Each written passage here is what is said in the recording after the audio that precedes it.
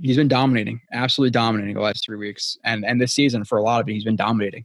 It's it's it's you know it's funny that a lot of people didn't want this guy and uh, we're questioning the pick and all this stuff, and uh, oh Ed Oliver's better and all this stuff, and we're kind of getting on people like me who really backed him. But the film did not lie in Bama. I did a show on him. His technique is ridiculous. It is really really good, and he's starting to come into the technique where he's getting more confident, and the game is slowing down for him a little bit. The first year, again, ankle injury early in the season. Seemed like he was affecting him all year. He was leaning a lot into his hands. He wasn't using his technique a lot. It looked like he was swimming a little bit, where now he's just starting to play. Um, and it's really impressive. Again, in this play, obviously the left guard picks him up.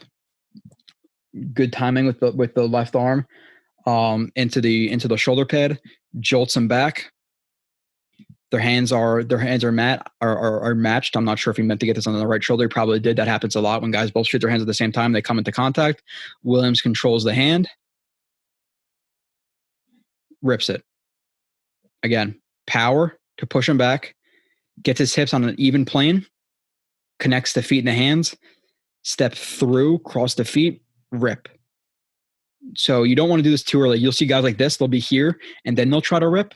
But then guys can can shuffle and stay in front of you. You want to start to throw throw rips and things like that as you're clearing the hips, because as you're clearing the hips, you know, um, that's when you're gonna be able to work your hips past theirs, and the rips gonna be able to set in. You're gonna be able to bend. If you send it, if you set it too early, um, typically you're going to fail. So good job right there, extending again, hand on, extension, then the left foot and the left hand are connected.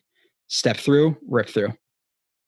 Really good job. One, two, and uh, the only reason he trips here is because he, he, he gets his foot stepped on or he steps on the heel of this tight end, um, and he falls down. But really good rep. He just beat the crap out of the left guard right there, really really quick. Um, moving on, I got a, I got a decent, not not like a ton, but I got like six more plays of him or something like that. So killed it this game. Okay. Q hit. Uh, he is the four eye right here. Yeah, this is just effort. Um, obviously the the the Raiders, um, like a like a lead toss um away from him to the to the boundary side. Q is on the backside here. He gets cut. He gets cut, but he uh does a good job shoving the guy into the ground. That's what you want to do with cut blocks. Shove him into the ground, jump over him. So that's all all pretty normal. I just absolutely love the effort. See a lot of guys on this backside are slowing down. You know, and Q continues to run and lays a huge shot on this uh on the running back. Bang, he freaking launches him. like, launches him. And and I noticed on the game uh, this on the game view, I was like, holy shit, you can see Q coming right here. Love the effort, love the hit just wanted to highlight that. Not much to break down, but um, you always got to highlight effort. Effort matters. Defensive linemen too, be careful. Some defensive linemen do play a couple snaps in a row, and defensive lineman, in my opinion, is the most tiring position in the NFL. Um, people might say, "Oh, or what about receiver or corner?" Yeah, sure, if you're passing the ball a thousand times, but whether whatever the play is for the defensive lineman, whether it be pass or run, they have to play it like a like a like they want to get to the quarterback or they're going to stack and two gap or whatever they're doing. Um, or even offensive lineman, tough position. But if you know it's going to be a, a, you know a, a screenplay or a quick slant, you know bubble screen, tunnel screen, whatever it is, shield screen, um, you could take the playoff halfway where the defensive lineman really can't. So defensive lineman, in my opinion, is definitely the most tiring position in the NFL. That's my opinion, and I think it's I, I don't see how you can combat that. Um, again, receivers can take a play off run play. You can block, but if it's going completely away from you, guys will take off a play. Corner, same thing. Um, guys don't play ball so well every single play. They just don't. So be careful it. You see a, a, a, defensive lineman looking like they're a little bit gassed and they're not giving full effort. That happens because they get tired. Um, that's what you hear about like guys who run the the, the up tempo offenses tiring out the defense. The defense line is absolutely gassed. That's when they start playing patty cake with guys. So there's a difference between Quinn Williams being tired for a play, because I've seen it, be tired for a play, and there's difference between that and and and Muhammad Wilkerson taking plays off consistently. There's just be again be careful. Um, Q quarterback hit right here. B two I again, what happens? Quick drop, ball out. But what does Q do? Step up field. Obviously, the right guard slides down to take him, steps down to take him. He's stepping inside, so he's going to try to take the outside. Obviously, this is a little bit tighter of a gap, so he's going to shoot. He's going to shoot the B. Shoots the B. Um, he needs to be improve a little bit with the accuracy of his hands. Sometimes he does. He does miss with his hands. Or he's a little bit too early with his hands. He anticipates this punch, tries to tries to uh, chop it away, swipe it away. Looks like he misses. He gets caught in the shoulder. Q then lands his hands inside, shoves him backwards. Now his momentum is going backwards with his hips outside. So what is he going to do? Now he's going to angle inside. Angles inside. Defeats the right arm with his with his left arm. Hit. Sends Carr to the turf again. Just just again, was it was it perfect? Did he miss right there? Yes. Did he get caught a little bit right here? Um, yes, but then he transitioned right into a bull, throws him backwards, power like Q. In terms of athleticism, he's a decent. Uh, I think he's a decently athletic guy. Lateral, he's okay. Um, straight line athlete, speed, I think he's pretty damn good. Um, but his power and like his like his he's kind of he's kind of like he's a more stout. He's a he's a strong guy. If he if he gets his hands into, he starts driving. He's a strong guy. Hands into him, bowls him, finds the alley to, to Carr, hits him. But again, the uh, the ball is out pretty quick. Uh, Guidry gets uh, beat. Ooh, good job right there by. Uh, this is a good job by Hewitt right here. Drag route. Who was playing coverage right there? 30, 38. Is that Lamar Jackson? Good job by uh, him getting tight to him too, just in case there is mesh. And obviously, with him being five yards in the launch scrimmage, they call this like a wall technique. Just just so people know, uh, I do try to bring up like different examples, different plays. Like sometimes I just run through the film and don't really talk about some of the technical terms. But a, he's he's a, he's a wall technique. He doesn't want anybody to cross the space. If they do, he's gonna he's gonna launch them if they're within five yards. So good job walling, rocks him. But again, the ball's out quick. Uh, moving on. Twenty one. Q rush.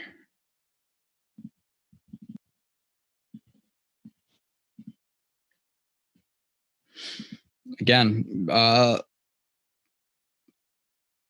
their center is is it Hudson? Yeah, I think Hudson. He's one of the best um, centers in the league. Snaps the ball again. A little bit of a little, there's a blitz right here, so he's an angle inside. He's an angle um, to the outside a little bit, and they're going to blitz the B gap with Ashtyn Davis. Is that Ashtyn Davis? Yeah, Ashtyn Davis. Good job by that running back and blitz pickup. Um, but he's gonna attack. He's gonna attack this gap. He obviously doesn't want to get too clogged up right there. Shoots his hands a little bit early in terms of the the center. Q. He's going to start to do a really really good job of controlling the elbows, forking. You know, lifting their hands upwards. Call it forking. Controls the elbow, forks it upwards, and then he pairs that. Uh, so this is pretty. I can't tell where the right hand is. I wish I could tell. Maybe it's on the shoulder or trying to control the arm. But I love the fact that he controls the elbow again. To the, you want to defeat the arms, you want to defeat the hands. It's all about the hands and the hips and the feet. There's a lot of stuff, but the hands are important. Pushes this up while he steps through. Rip. Fork, step through, rip. The feet and the hands are paired up right there.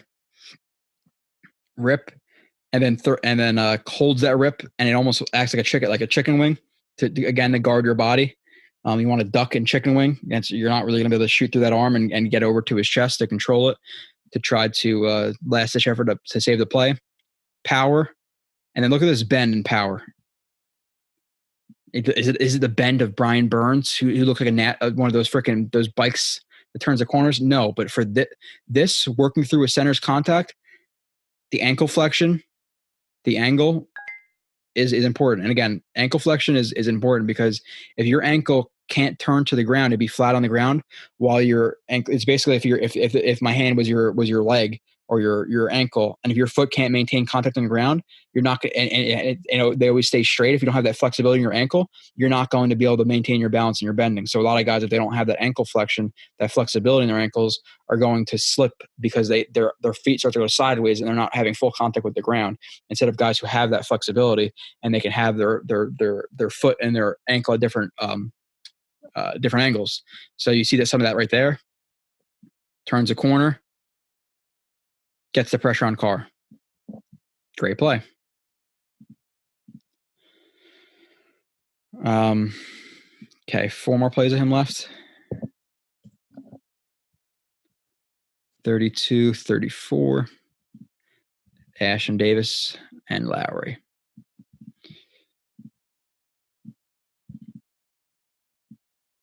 Who's another 32?